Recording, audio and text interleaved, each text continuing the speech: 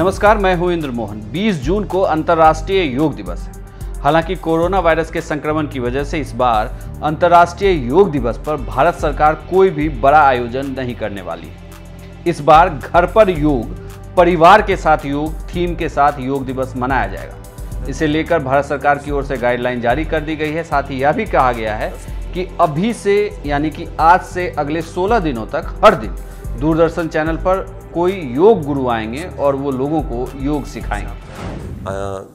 International day of yoga के संदर्भ में in addition to my life my yoga हम एक 10 जून को एक कटिंग रेजर इवेंट कर रहे हैं और ये हम it is a tele it will be a television event और उसमें आ, जैसे आप जानते हैं कि हर प्रतिवर्ष हम एक योग महोत्सव करते हैं कट रेजर के रूप में तो इस बार पेंडेमिक के कारण योग महोत्सव नहीं करके हम इसको एक एक डिजिटल इवेंट के रूप में करना चाहते हैं। वो 10 जून को होगी और ये कटेनेजर के कार्यक्रम भी हम पूरा बताएँगे। It will be stream live on our social media platforms and one of the channel of the Doordarshan एक दूसरा विशेष कार्यक्रम हम लोगों ने प्लान किया है, जो अभी परसों से कल से शुरू हो जाएगा।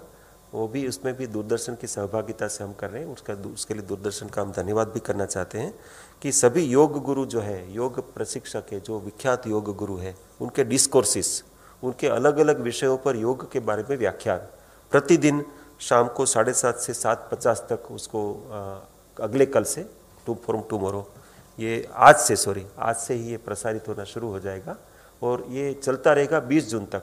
तो आज जैसे हम पाँच जून को हम शुरू करेंगे तो सोलह दिन तक लगातार प्रतिदिन एक कोई न कोई एक योग गुरु, जो श्रेष्ठ योग गुरु अपने देश में हैं, उनके माध्यम से एक कोई न कोई एक विषय पर उनका व्याख्यान अपने दूरदर्शन के चैनल पर उसको हम प्रसारित करेंगे।